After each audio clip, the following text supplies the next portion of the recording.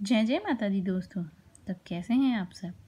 तो दोस्तों, फिर से हाजिर मैं एक ऐसी वीडियो के साथ जो आपकी किस्मत बदल सकती है। जी हाँ दोस्तों, अगर आप ये उपाय कर लेते हैं तो ज़रूर आपकी किस्मत बदल जाएगी। पर उससे पहले अगर आपने चैनल सब्सक्राइब नहीं किया है तो प्लीज़ चैनल को सब्सक्राइब कर लें, बेल आइकन को ज़रूर दबा लें, जिससे कि सबसे पहले नोटिफिकेशन आप तक पहुँच जाए और हम कनेक्टेड रहें।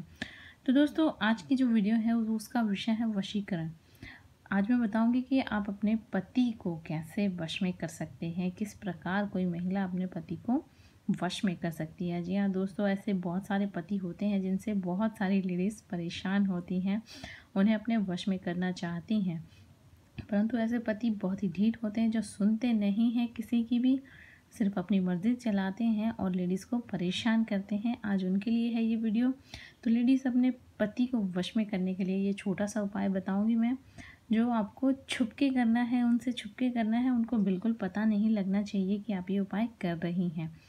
अगर पता लग गया तो फिर आप समझ सकती हैं क्या हो सकता है। इसलिए छुपा के करना है, बिल्कुल सावधानी से करें। एक कोरा सा पेज लेना है आपने और उस पर आपने डालना है सिंदूर।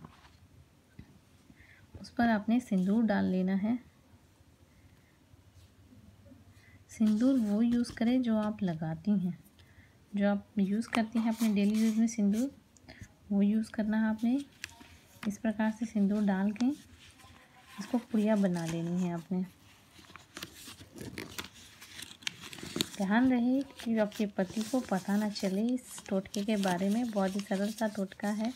ये असर ज़रूर करता है। तो तो बहनों, इस प्रकार पुड़िया बना लें।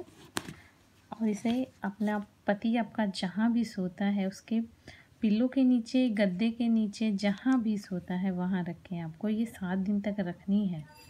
सात दिन तक रखें इसको।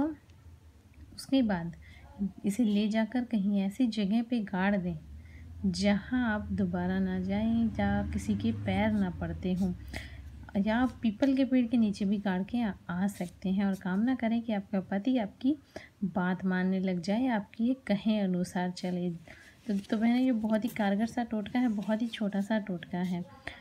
इसे करके देखिए आपका पति आपके वश में अवश्य हो जाएगा। आपको कुछ खिलाने पिलाने की भी आवश्यकता नहीं है। बस ये सिंदूर लेना है अपने उसके पिल्लों के नीचे या गद्दे के नीचे जहाँ वो सोते हैं। रात के समय रख दें दिन में उठा के रख लें इसे छुपा के रख दें दिन में। रात को रख दें जब वो सोने लगे उससे पहले रख दें तकिए के नीचे। या बेड के गद्दे के नीचे या जहाँ भी छुपा सकती हूँ, पर जगह ऐसी होनी चाहिए जहाँ वो सोते हैं रात को।